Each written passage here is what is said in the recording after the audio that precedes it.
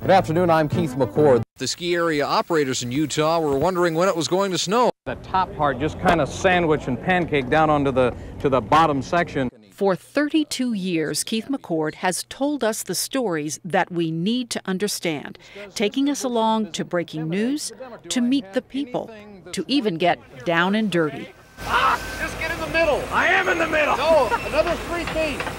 Yeah, yeah, yeah. Just roll. Hurry, Bob. Hurry. Really cold. The man simply has credibility. When he's at the anchor desk, viewers know to sit up and pay attention, that they can trust him.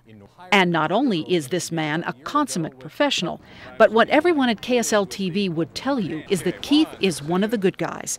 Everyone loves him, most especially the women, 10 of us who have sat next to him at the anchor desk, including Jane Clayson, Samantha Hayes, and me more than once. Sitting next to him on the set, he is so kind and so calm that it rubs off on us. And so at times when you might be nervous or not have the confidence, all of a sudden now you are empowered and you do feel good and at ease because Keith is right there next to you. He always always had my back, was always there to help me in any way he could. This business is changing. We do things differently now. We try to stay relevant. But this man, Keith McCord, delivers the news that's difficult to watch and the good stuff with honesty and with the face of a friend.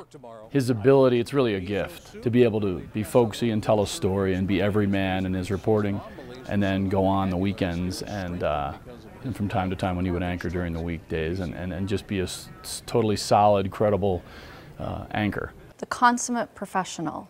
He is good at everything he does. I'm Keith McCord and Draper, back to you guys in the less scary studio. His style and appeal have never gotten old and never will.